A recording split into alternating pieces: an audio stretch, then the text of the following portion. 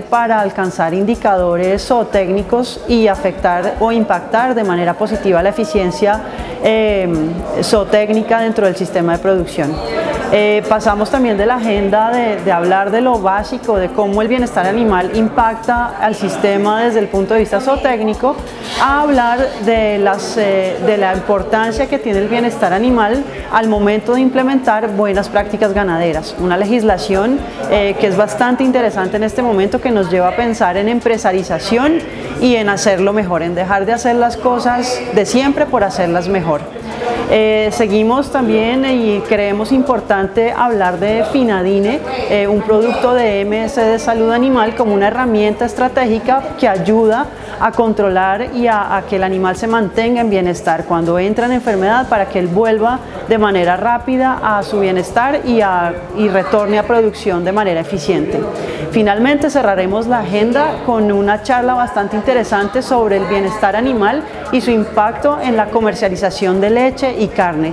Eh, creemos que es una agenda bastante robusta que amarra de manera interesante el concepto de bienestar animal y el impacto que tiene sobre el sistema y el mercado al cual estamos llegando para que nos entienda que lo estamos así, queremos hacerlo mejor.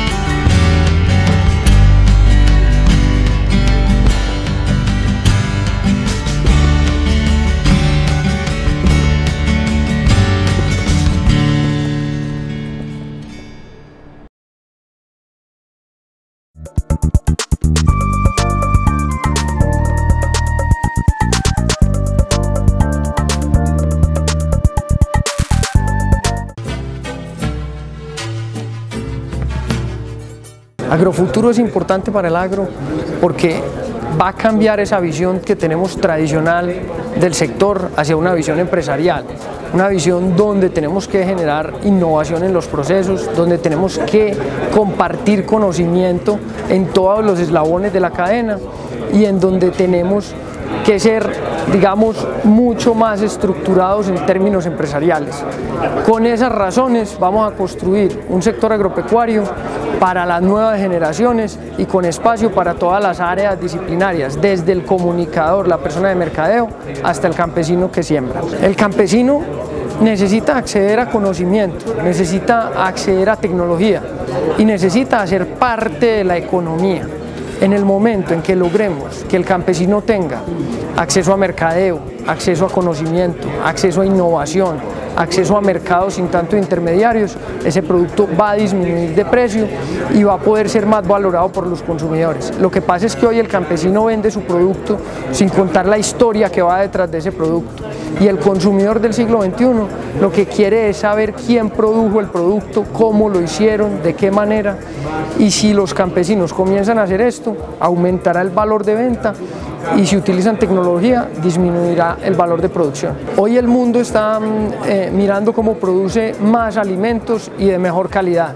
Países como Israel, como Holanda, como Estados Unidos, Inclusive en Colombia, en la Universidad de Antioquia, ya he visto cómo están produciendo alimentos en laboratorios a través de reproducción celular. Los transgénicos son positivos siempre y cuando no atenten contra el medio ambiente, respeten la biodiversidad y respeten la salud de las personas. Entonces lo que necesitamos es utilizar todos estos desarrollos de tecnología y biotecnología para el bien de la humanidad y no para que se convierta en un problema de salud y para el medio ambiente.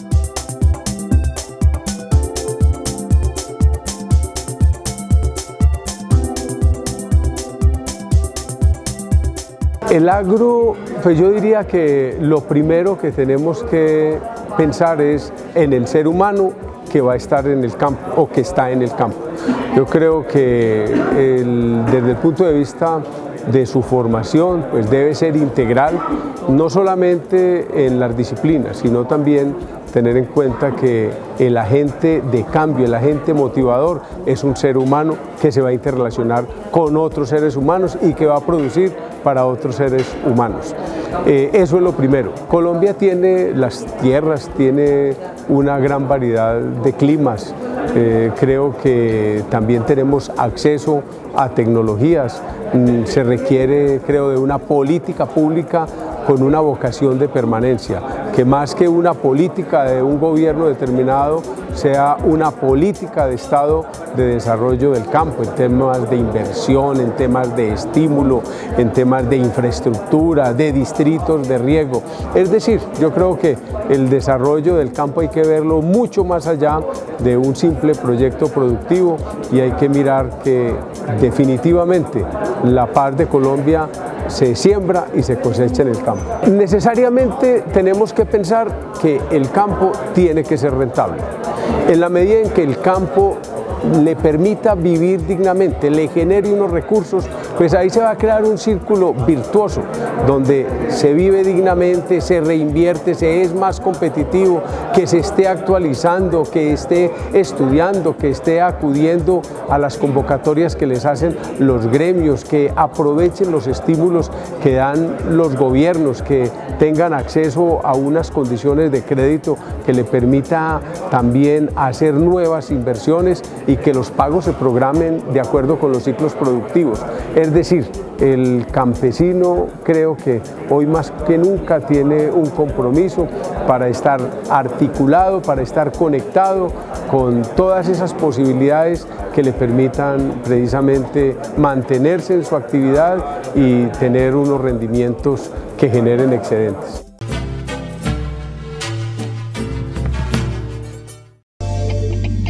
Un minuto con el Cebú. Del 29 de noviembre al 3 de diciembre tendremos dentro del marco de la Exposición Nacional Cebú en el Coliseo Salomón Armel, Cerritos, en Pereira, tres espectaculares remates. El remate Vía Láctea, donde participarán ejemplares de eh, las eh, Guir Lechero y Guserat Lechero, y sus cruces, ejemplares de cabezal y sus cruces certificados para leche. El, remate, eh, la gran reserva, estará compuesto por ejemplares eh, cebú de condición de potrero, medio cuido, y eh, los diferentes cebuinos, Guserat, Gir y sus cruces, certificados por Asocebú, para leche o para carne.